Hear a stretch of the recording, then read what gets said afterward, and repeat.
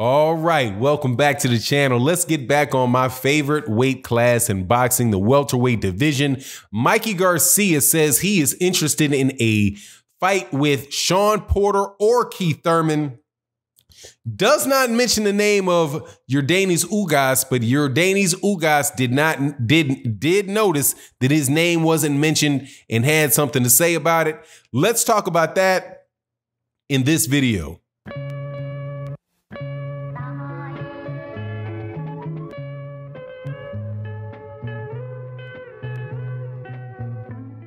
All right, welcome back to the channel. So let's talk some welterweights. Mikey Garcia said that he wants to fight Shawn Porter or Keith Thurman. He's ready to get it on. He does leave out of his mouth, however, the name of Yordenis Ugas who is an excellent, excellent fighter at 147 pounds, and somehow nobody at 147 knows how to say his name. Let's talk about that. But before I get into that, I want to say special thank you to everybody that supports the channel and the live streams, uh, who donate their time, who donate their their time and conversations with me. Also, the super chats that you guys give are absolutely wonderful. Thank you guys for your support. Thank you to everybody that supports over on Patreon and everybody that has joined the channel as a member. I truly appreciate you guys' contribution and looking forward to chopping it up with you in the next live stream. Let's talk about Mikey Garcia. Mikey Garcia is one of the better fighters in boxing.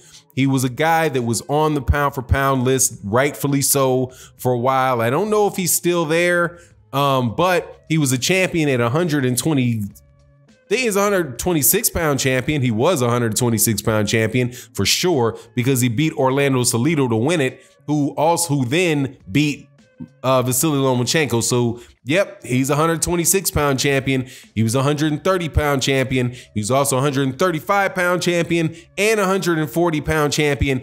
But then, you know, he bit off a little bit more than he could chew up at 147 pounds by trying to fight, uh, trying to fight Errol Spence Jr. because that's about all he did was give it a good effort because he definitely got mopped up in that fight when he fought for when he tried to jump and go for all the gusto and get uh and beat Errol Spence Jr. But now he's still decided that he is going to stay at 147 pounds. I suspect because of a combination of things.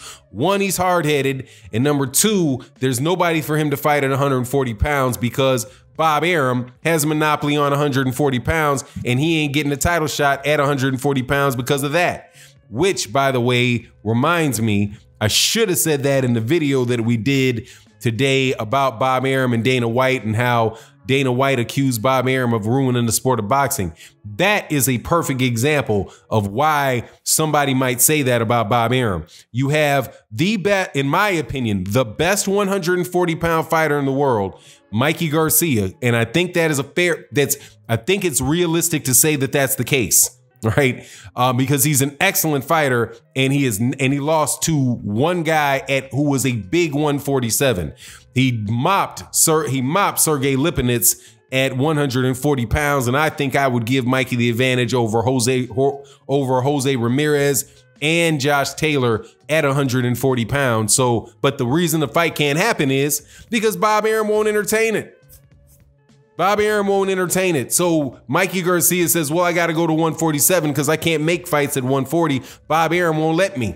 See, I should have said that. I hate when you get the, you ever know you get these things when you're doing it in a different video or you know, you just somebody insults you and you don't really have a really good witty comeback and the witty comeback hits you, you know, like a couple hours later and you're like, "Dang, I should have said that." That's how I feel about that. But back onto this subject, Mikey Garcia has to fight at 147 pounds, can't make 135. And if he could make 135, it wouldn't make a difference because Bob Arum's got 135 locked up too, and Bob Arum ain't making no fights for him.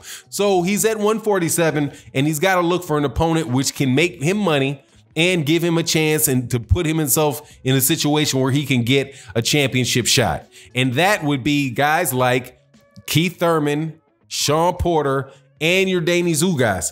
But Mikey did not say Yordenis Ugas. He said the bigger, the two bigger names, uh, Shawn Porter and uh, Keith Thurman. Now, how that those fights would play out, I think that he gets beat up by uh I think he gets beat up by Shawn Porter.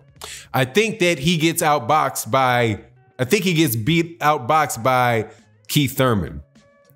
I think the reason though that you keep that that he might want those guys next is because they're both coming off losses. Like you ever notice like how people there's like Mikey Garcia is one uh is a guy that comes from a boxing family and he's a very bright guy in the business of boxing and he knows how fights work. One good example of that of of his savvy outside of the ring as it relates to boxing is his fight with his fight with Adrian Broner where he even though he was not the he's not the top dog on that bill, dictated to uh to Adrian Broner that Adrian Broner couldn't come in above 142. And if he did, I think that might have been the catch weight. Whatever the catch weight was, it was like a half a million dollars. Don't quote me on that dollar amount, but I know it was enough to make, I think it was like a half a million dollars that if if if Adrian Broner came in under came in over weight, Mikey Garcia would get, you know, an extra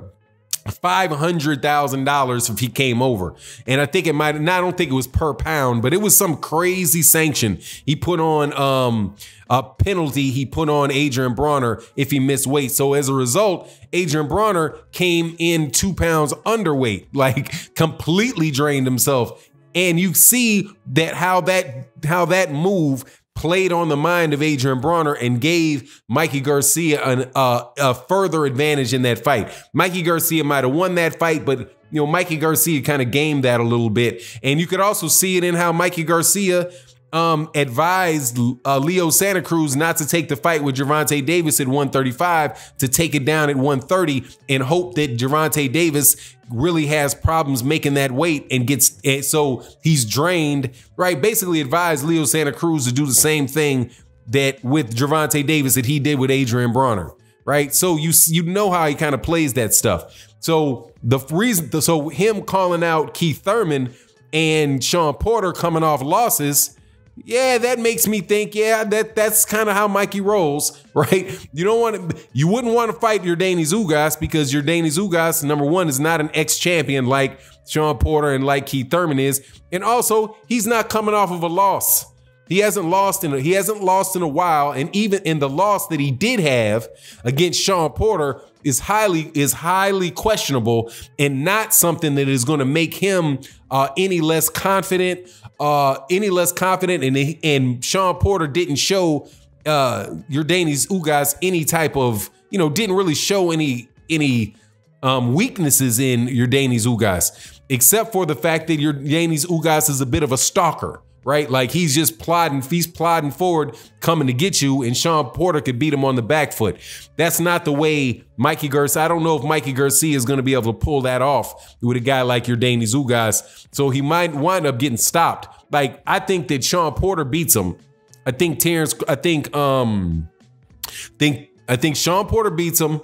I think uh, Keith Thurman beats him, but I think Yordenis Ugas, I think Yordenis Ugas knocks him out. Now, the other thing that is that is interesting out of this is the fact that Mikey Garcia is not talking about he's not talking about Manny Pacquiao.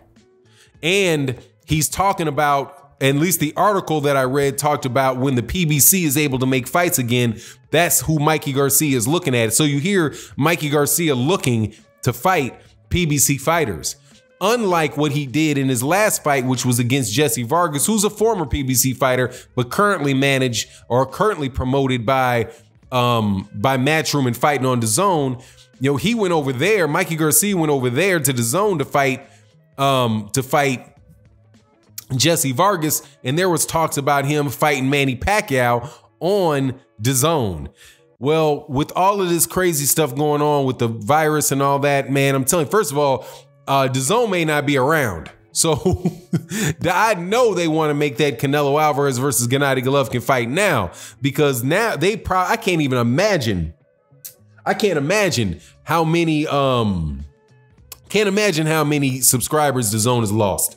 So that very well may not be a option for my for Manny Pacquiao going for, forward. If if DAZN is going to continue to invest that amount of that amount of money in fights. They're going to have to do something really big that's going to push people to who who unsubscribed to to DAZN to resubscribe to DAZN and that is going to be a hard pitch for uh man a while because even when boxing comes back boxing might come back where you can't fight in front of a crowd if you can't fight in front if you can't fight in front of a crowd um the big you're not going to be able to afford you're really not going to be able to afford some of the bigger fights to be made because these guys also get paid off of the crowd. Unless that is DAZN wants to just triple down on the, their model and say whatever we don't care about a, a, a crowd. We'll pay the go, we'll pay the going rates for fights. I don't see that happening.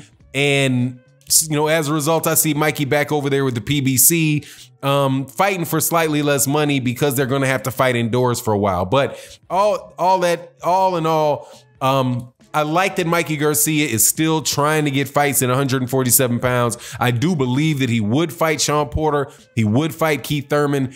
Uh, but at the same time, I just don't. And I say that not just because I believe you know that the guy's got heart, but also I believe that he doesn't really have a lot of choice because I'm not sure. Um, yeah, excuse me. I'm not sure where else he's going to be. I just don't know where else he's going to be able to go. You know what I mean? But anyway, it is what it is. You tell me how you think those fights play out. I would prefer to see Mikey Garcia versus Yordenis Ugas and Keith Thurman versus Shawn Porter rematch. And maybe the winner of those two fights can fight. But, you know, I want to see Ugas in the mix. And Mikey Garcia, I think, should have to prove it against a against a against a guy like Ugas versus going right for the top dogs. Because I don't think Mikey Garcia is a top dog in the welterweight division. He's a big name. He's a name, but I don't think he's a top dog. Anyway, it is what it is. You let me know what you think in the comment section. And with that, I'm out. Peace.